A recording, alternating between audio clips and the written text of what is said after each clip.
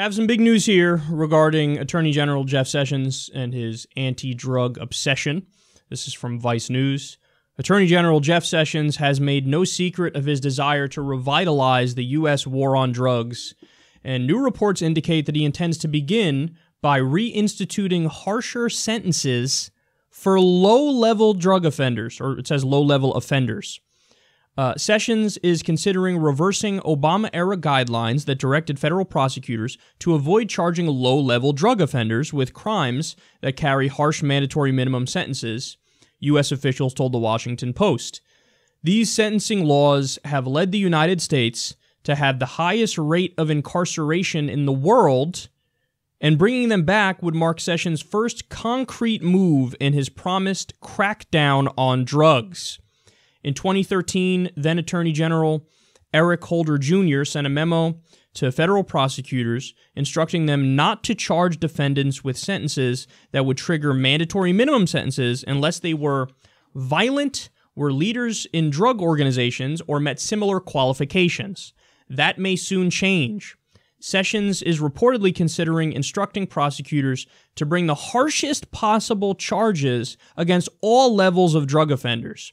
Sessions is also reportedly considering reviving the widespread use of charging offenders with enhancements, which can further lengthen sentences for certain defendants who have already been convicted of felony drug crimes. Holder's memo also largely ended that practice. Sessions has long supported harsher sentencing. While still a senator, Sessions helped block a bill that would that would have reformed some mandatory minimum sentencing laws. So the U.S. Um, is number one in prison population and how many people we jail. So you know when you know people on the right always say we're number one, yeah. Well, yeah, there are a few things we're number one in: obesity, military spending, uh, percentage of the population that we jail. So that is not necessarily something that's good to be number one in now, is it? Are we saying that we're particularly more violent as a country than any other country? Or is it perhaps that our laws are preposterous? It's that. And uh, for the longest time, we've been locking people up for silly little minor uh, drug offenses. And, you know, this was the problem with Obama and Holders that even though they, in some ways, they try to push in the right direction, it was just ever so slightly. And they didn't fundamentally change the structure of the system and change the most important laws. So marijuana is still a Schedule One drug. They could have changed that. They didn't. Uh, Obama did, to his credit, free many nonviolent drug offenders, uh, pardoned them, commuted their sentences. But now Jeff Sessions is getting in there, and he's basically saying, yeah, you know how you didn't put an onus on nonviolent, low level drug offenders? Now we are. We're going to do that again. And think about how deeply unpopular this, unpopular this is with the American people. Because as of today, 60% of the American people want to legalize marijuana for recreational purposes, not just medical purposes. Medical is such a given, we don't even need to discuss it. But for recreational purposes, 60% of the country wants to legalize it. Well, now we have an attorney general who's saying, not only am I not going to do that, I'm going to uh, double down on harsh mandatory minimum sentences for low level nonviolent drug offenders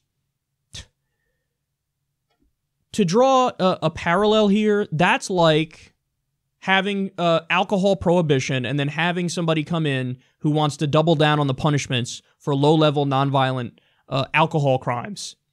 Like what? We caught you drinking a Corona. We caught you drinking a shot of Jack Daniels. What am I going to do? I got to lock you up and I got to give you a mandatory minimum of three years. What am I going to do? I, ca- I caught you drinking it. I mean, that's a crime. What are you doing? For some reason, when it comes to marijuana, which is actually less dangerous, less bad for you than alcohol, the establishment's like, oh yeah, we gotta, we gotta go crack down, go, go, go, go, go.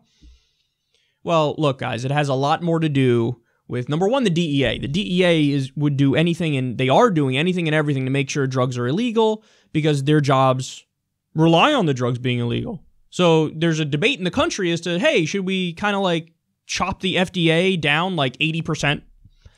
Uh, so they're doing everything they can, using all their power to make sure that doesn't happen. Then you have the alcohol industry, which views marijuana as their competition, views other drugs as their competition. So they're lobbying against the legalization. And we know they're doing it because whenever these things come up in various states to legalize it at the state level, you have alcohol companies rush in and fund the, the no campaign. You have Big Pharma, they do the same thing. Uh, you'd think that maybe they want to, hey, let's get in on this and maybe we can make money from medical marijuana or whatever. No, they want to shut it down. They view medical marijuana or just recreational marijuana, other drugs, as their competition. So, big pharma, alcohol companies, tobacco companies, the DEA, these are all the groups, moneyed interests that are against marijuana being legalized. So, they fund the efforts to, to put it down. And sometimes it works, guys even though 60% of Americans say legalize it for recreational purposes. Uh, but Jeff Sessions is totally disconnected from the American people. Remember, this is a guy who said, quite literally, good people don't smoke marijuana. You have like an old school, primitive, draconian, idiotic, moronic person who's now the top lawyer in the country many things are going to go wrong. They're already starting to go wrong. And what they want to do is ruin people's lives over low level nonviolent drug offenses, which in my mind are just not even a crime. That's not a crime. Low level. It's like saying, I caught you drinking a monster energy. I caught you taking a Xanax. I caught you, whatever, drinking coffee. That's a drug. Caffeine's a drug. Well, you did marijuana. What am I going to do? I'm going to have to lock you up. How many lives have we ruined because of the drug war? And now the Attorney General wants to ruin a hell of a lot more.